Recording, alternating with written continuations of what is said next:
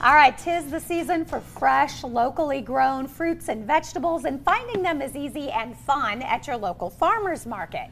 This morning, we have some tips on using and storing your items for all that maximum freshness.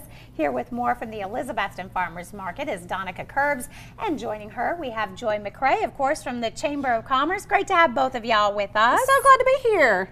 I know you're excited. Tomorrow, Yes. yours kicks off for the season. It does, yes. Tomorrow's opening day for the Elizabethton Farmers Market. Uh, we start Tuesday at 4 p.m. We run till 7 in the Covered Bridge Park in downtown Elizabethton. We're really excited. And you said people come from all over. Yes, it's a shopping. Yes, well, all of our vendors come from um, all uh, counties in the region. Um, well, not all counties, but a lot of Lot local of counties in the region. Um, and then we have just customers coming from all over um, to our market because they're really excited that our market is a producer only market. That means that all of the produce and meat and eggs, honey, everything that you find at the Elizabethton Farmers Market is locally grown. It's not shipped in from anywhere else and resold. It is 100% farmer only.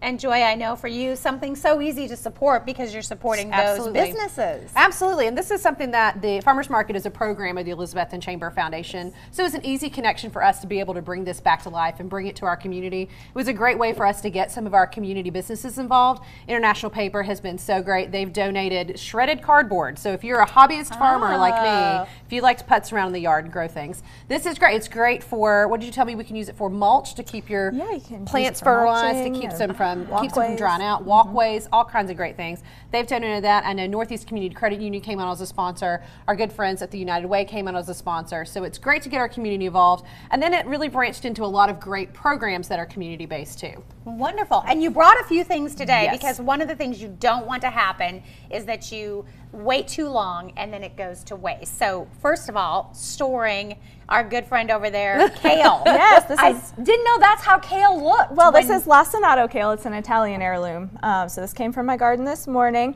And um, a lot of the questions that we get at the farmers market, first thing people ask if it's something that's a little unfamiliar is, what do I do with this? Um, there's so many things that you can do with kale. Um, but first tip I have is just for storage. Um, you want to store it in a glass jar with just a little bit of water in the bottom, just so it's just um, at the bottom of the cut piece there. Um, and then store it in the fridge because that's going to allow it to stay fresh. It's going to stay nice and crispy. Um, you can keep this in the fridge for over a week and it will not um, wilt at all. So Oh, nice. that is a really Hardy. good tip. Yeah, if you leave it in a plastic bag, um, what that's doing is getting a lot of moisture on the leaves, and that's just going to breed some bacteria, breed some mold. Um, so you want to uh, keep this part dry. You want to leave it in the fridge unwashed. Just a little bit of water down here, almost like a flower bouquet. It's beautiful. It is beautiful. and then you brought some herbs. Yes, I brought some herbs. So um, a lot of people uh, or a lot of um, vendors at the market will bring fresh cut herbs, and people are always like, "What do we do with this?" You know, it's it's kind of um, something that you usually buy in a bottle dry at the store. So fresh herbs are a little bit unfamiliar to people. So um, this one right here is oregano. This is thyme. And this is peppermint.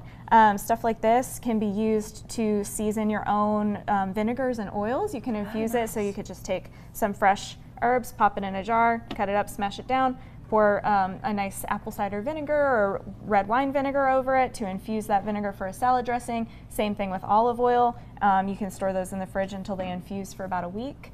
And that is just a really nice, uh, fun gift idea that you can do for people as well. It's a nice um, holiday gift. So- Mint and um, other kind of more uh, sweet herbs can be used to flavor waters and drinks. Those are really fun. All right, lots of good tips. And for more, you can check out their farmers market, as she said, kicking off tomorrow, every Tuesday from 4 to 7. For more information, you can call the number on your screen. Thank you, ladies. Thank you so much. See you soon.